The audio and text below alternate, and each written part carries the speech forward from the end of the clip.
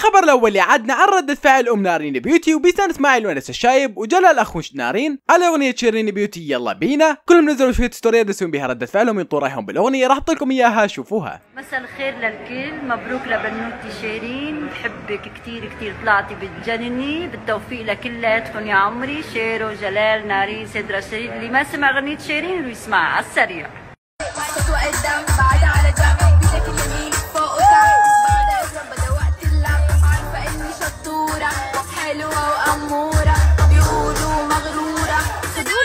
خدونا أحلى صورة يلا. صراحة شكرا. يعني أنت انت أشكركم على أنا- التفاعل أنا الرائع. بدونك ما كنت قدرت أعمل أغنية. مستحيل برا.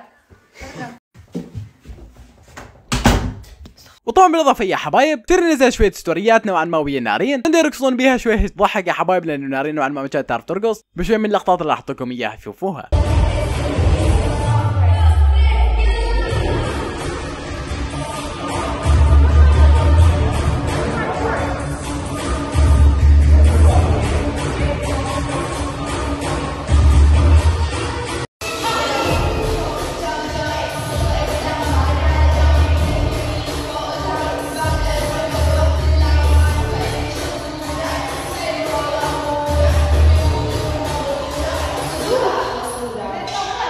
حاليا وأخيرا على وسام وبيسان والتقاهم ويا بعض. مع ما صار لهم فترة طويلة هم نوعا ما متزعلين وما يحجون ويا بعض. من البداية يا حبايب بيسان نزلت هذا ال story. شاركت ببي إنه اكتبوا لي إشاعات عن وسام. حكت لأن تريد تصوروا وياه مقطع يوتيوب. بعدين مسحوا طبعا ال story لأن يمكن صورت مقطع وياه. وبال story اللي بعدها يا حبايب كانت من داخل السيارة. كانت سيارة شرطة حواليهم ويا وسام. فانتوا تتوقعون يا حبايب ممكن رجعت العلاقة ما بينهم. لأن واضح صراحة إنهم رجعوا ويا بعض. وقاعد يحجون ويضحكون. راح اعطيكم ال story ات شوفوها. بالمناسبة مين نزل فيديو؟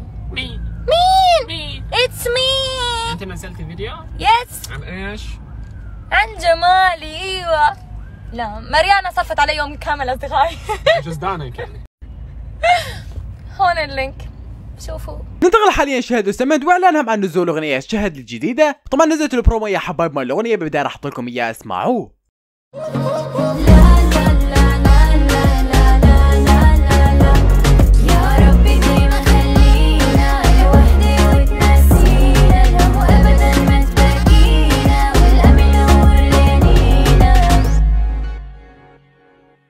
طبعا هذا الكليب يا حبايب راح انزل لكم يوم 9 بالشهر يعني باقي 3 أيام والصراحه الكليب كلش نار اكتبوا لنا بالكومنتات شو رأيكم إيش قد متحمسين؟ وعلى سيرة الأغاني يا حبايب فمحمد جواني بوتشر راح ينزل اغنيته الجديده فعشان كاتب فيديو كليب راح ينزل لكم باكر على الساعة بالأربعة. على قناته الأساسية محمد جواني. صراحة أكيد الكليب راح يكون كل شهر على diss على ريدر وسام. فاكتبوا أحباب بالكومنتات قد أنتم متحمسين لهذا ال diss track وطبعا بالإضافة يا حبايب إنه مريم اللي هي تصور بالعادة كانت ويا جواني نزلت story تصور وياه ويا ريدر. فما أدري إذا صار خلاف بينها وبين جواني. وقالت إنه أكو أشياء نارية جاية بالمستقبل راح أحط لكم الستوريات تشوفوها. أخيرا التقينا مع مين؟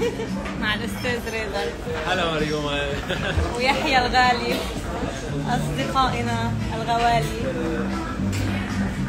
رقبوا أشياء كثير جديدة. آه، أنا ورضا وأنا.